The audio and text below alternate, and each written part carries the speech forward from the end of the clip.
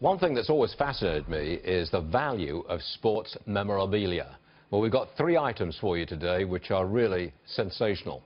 Ken Goldin is here with Goldin Auctions, and he's the man in charge of auctioning these off. Ken, welcome back to the program. Glad to be with you, Stuart. I'm going to hold this up, and I'm going to handle it very delicately. This, ladies and gentlemen, is the marriage certificate of Joe DiMaggio and Marilyn Monroe way back in 1954, I think it is. Exactly. 1954 in San Francisco, of course, uh, Norma Jean Dougherty at the time, uh, marrying, uh, marrying Joseph uh, Paul DiMaggio yep. in 1954. That is the original marriage certificate. And and uh, Joe DiMaggio died owning that certificate. It was part of his estate. He loved her.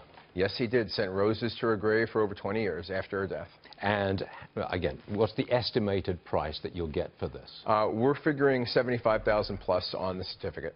$75,000 plus. Correct. Well, worth what? I mean, DiMaggio was a sensational player. Mm -hmm. Marilyn Monroe was a sensational person in her own right. Yes. The marriage certificate, 75K. I can go for that. Yep. Next, what is this? You've got a jersey in front of me. Yes, this is extremely special.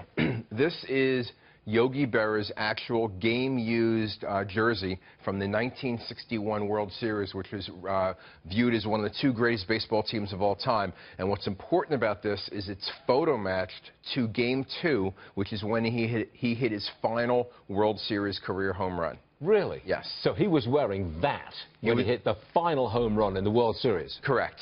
Of his career? That is correct. Okay, Stuart Varney question, how much estimated uh, price? About $125,000. 125,000.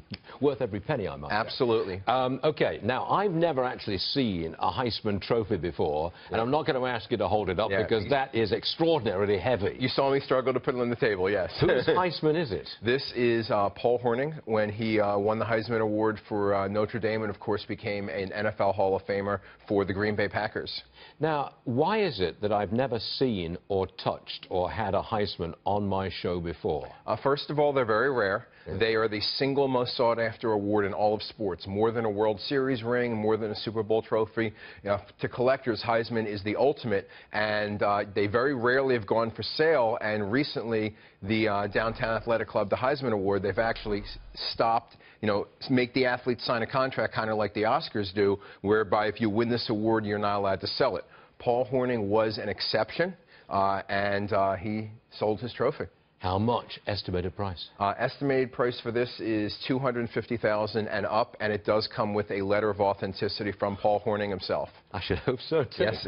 Um, the auction ends tomorrow, I think? Yes, Saturday, May 20th. Uh, it is a live auction. It's currently available. You can go to goldinauctions.com and place a bid, and it's actually a live event, uh, 7 p.m. at New York Yankee Steakhouse, uh, Midtown Manhattan. I have to squeeze this in. I want to have time for this. Sure. Uh, do people buy these to put them into some kind of museum collection? Is it museum people who buy these things, or is it wealthy individuals? It's wealthy individuals who have their own museums. Uh, I mean, these people build, build man caves and they display the items. Ken Goldin, thank you very much for bringing us some truly out, uh, terrific stuff again today. Thank you for having me. Always a pleasure. Ken Goldin, everyone. Thank you.